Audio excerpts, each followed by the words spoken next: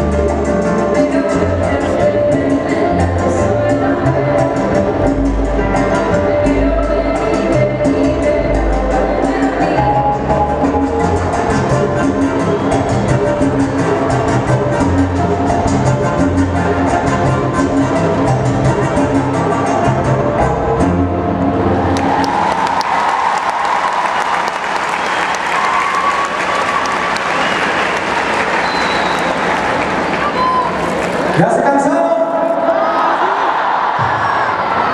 Como les comentábamos hace rato, el 5 de mayo